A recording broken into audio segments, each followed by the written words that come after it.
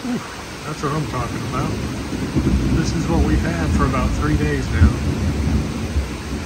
Every afternoon, some real heavy storms. We're probably up to three and a half, maybe four inches in two days. Morning. What are we doing today, Doc? Today we're going to talk about, I think this is a really important situation that you need to think about when it comes to heavy rains or droughts understanding your soil, understanding infiltration rates, understand what you can and can't put down depending on the saturation of your soil.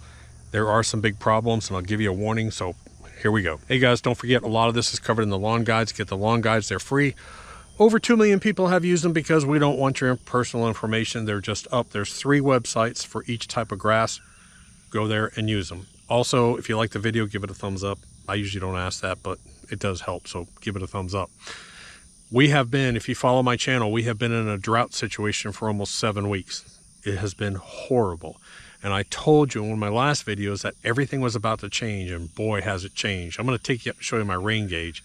I think we've had between five and six inches of rain over the past two to three days. And thank God, none of it's been super heavy, but you can understand when you look at some of the video I shot yesterday up by the chicken house in the garden, you can understand infiltration rates believe it or not, if you have a clay soil, your infiltration rate can easily be less than half of a tenth of an inch per hour. Got that? So half of a tenth per hour infiltration rate. That's why at some point in time, if you have clay soils, the silt and silicate starts to lock up. It's a very tight soil and it's very slow to infiltrate and it gets saturated and that's where you can get that runoff. So we'll talk about what products you can put down and when you can put them down, a few different things. Here we go. Okay, so I'm about to hop in the UTV and I'm to take you up to the uh, farm area up here, the chicken area. Before I forget, I'm, I'm pretty bad at making sure that all the products I mentioned are linked. So in the description below, uh, I will have a link to one page. And on that page on our website, I will try to make sure I link to all the products. If I forget to link to something, please remind me. And then also don't forget, we're still doing our giveaway which is up to $3,000, either a McLane reel mower or a Toro zero turn. And all you have to do is be subscribed and be on our mailing list. There's a link to the mailing list over there. We do not send out marketing emails. I maybe send out two emails a year if there's something going on, like a sale or something. But other than that, it's just an automated system. And it sends you an email says, this idiot has put out a video. And if you want to watch it, watch it. If not, go do whatever else you're doing. So stop rolling. I didn't put it in park. It really is amazing when you start to get these rain periods come in, what happens. Look at this. If you watch my video just three days ago, this was real patchy and dry looking. This Bermuda, which is common Bermuda out here, is just starting to explode. So this is that common Bermuda. Now this used to be woods. This was trash and woods and we just scraped it with a skid steer. That's why I'm using common Bermuda because it's tougher. And it's got to grow over these big humps that are like tree stumps and it'll do that. That common Bermuda will do that. Um, but, and then I came out here and put down more seed, but man, I'll tell you what, it's just utterly amazing. Even over by the cabin over there where I have a lot of clover, I'm seeing this green haze. After three days, I mean, look at the skies. This is this is what we're dealing with. We had a couple hours of sunshine yesterday, which is perfect for seeding.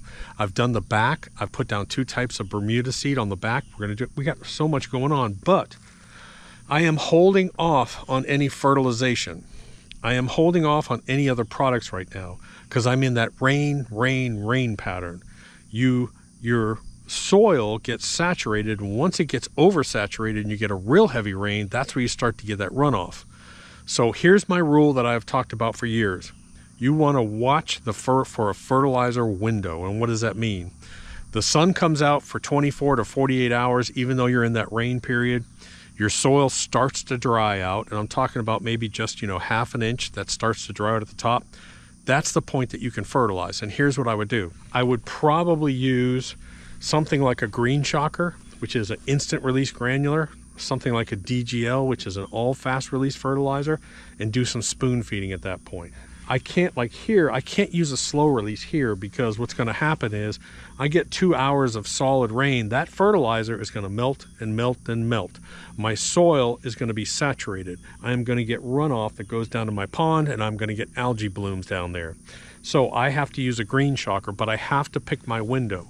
Dry soil, put it down. Now here's a tip. If you are using green shocker, right after you put it out, even though you got rain coming in that night, run your irrigation system. Why? Because that green shocker product actually turns into a liquid like that and you'll start to get it in. So if that product gets in a 16th of an inch, as that rain starts to fall, it's going to carry it down into the soil. Once it gets saturated, it's locked in and you're done. It's perfect. So anyways, that's how I use it here. I want you to do two things right now. If you don't have any dirt booster or humichar in stock at your house, you need to order some right now. I have a feeling some of that stuff's going to go out of stock soon because this is the time of year, this July, August heat time where you want to be putting down and concentrating on your soil. And I'm getting ready to do another order. I've got Humichar. I need to order some more dirt booster. Hopefully it doesn't run out of stock. So get that ordered and have it ready. Now remember, those two products contain no nutrients whatsoever. They will improve your soil. The Dirt Booster has Humichar, organic matter, and mycorrhizal fungi that mycorrhizal fungi attaches to your roots and quadruples and quadruples the size of your root zone. That's why you use it in the summertime. You don't use mycorrhizal fungi supplements when it's cold because fungus colonies actually go down. Their activity, all microbes go down. So this is the time of year. But the same thing, I don't want to put that down when I have pouring rains, but I do want to put that down when my soil is moist. It's just like a compost pile compost piles, if they dry out, guess what? The microbe activity dies off. So it takes a little bit of moisture, it takes a little bit of oxygen, put that down it's perfect. Okay, so I'm up by the chicken cooping. If you remember, I dug in these drainage ditches and there's a good reason for it. Yesterday I came up here and I'm gonna show you, put up some video. There's a huge water pool in here. Again, slow infiltration rates. You got this red hard clay soil and this was all a big pond of water. everything just smells different. It smells alive. I want to look and see where we are on the rain tube here. I'm in flip-flops, by the way. I was sitting there watching YouTube, and this place is going to get muddy. Where are we? Three, four, almost at four inches. So we're almost at four inches. Is that four or is that five inches? But I want to give you an example so you know I wasn't exaggerating. This whole property slopes all the way down and then it hits sort of a ridge here. This is a real bad pooling area. What I need to do is I need to come in here with probably an excavator. I need to cut some drain lines in here to get this water to drain over there, not down here. But we put in this sort of drain system here and I want to check and see without Hi girls. What's what's working out wonderfully is their run is perfectly dry. They're out here pecking around, thunder, rain. And I want to see, yep, I see pooling water in here. That's good. I want to come down here. I definitely need to, I definitely need to cut a drain line. I'm going to come in, I'm going to get an excavator or something. I'm going to cut an, I'm going to cut a drain line that goes over this way. I don't want it going down to the barn. Oh yeah, this is this is full of water. This is perfect. This is what I wanted to see. Can you see this water that's running? That water is running and it's running down here. So this is actually three feet deep here very happy right now. The only thing I'm not happy about is I'm not happy about this big mess here. I really need to come in here and cut a drain line over this way. My granddaughter and my wife were out shopping. Of course, I had them go by Tractor Supply to pick up some chicken grit that I was running low on. And of course, they came back with a whole bunch of chicken stuff. So to make them both happy, if you feed them, they will come. A rooster bucket, and then we got Free range chickens, watch your step.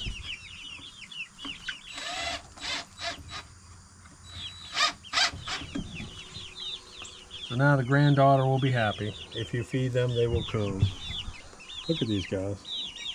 So I use a lot of natural sticks as far as like getting up here and, oops, someone found a bug. See that one running? That one found a bug and now they're all going to chase it and fight for the bug. A lot of people say, aren't you worried about bugs in your, in your, uh, in your chicken run, chicken house? I'm like, dude, you don't understand chickens. If they find a bug, they will fight over it. Look at them. They're all chasing that one bird with a bug. Look at it. It's got the bug. Look at it. Isn't that crazy? So he, the leader, has got the bug in his mouth. Stop picking my leg hairs. I will turn you into Chick-fil-A. Stop picking my leg hairs.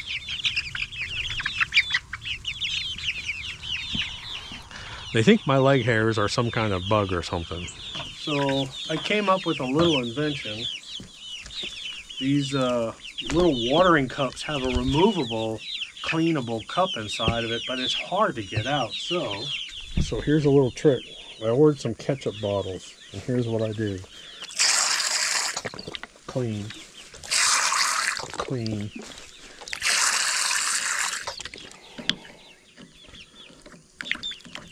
A little piece of something. Clean. Chickens are basically pigs.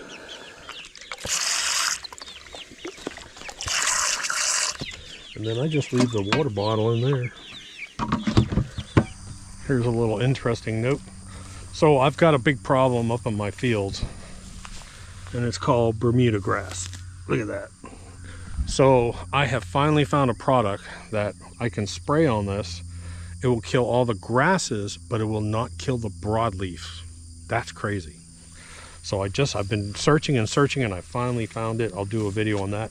But we talked about the super high potassium up here and the trouble it's caused us and why a lot of people say put heavy potassium down to relieve stress.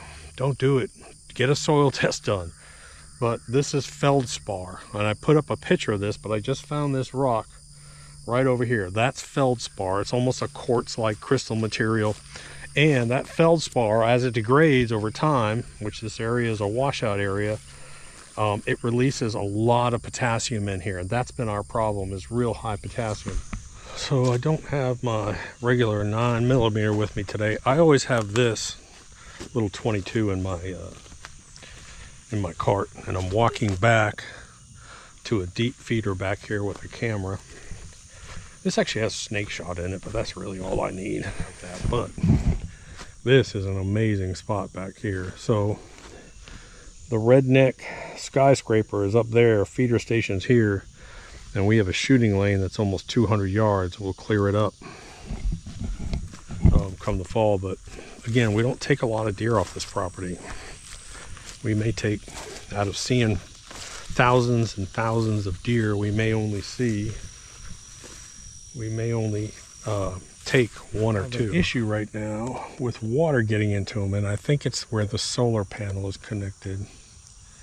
Test full battery 10 9 8 7 6 5 4 3 2 1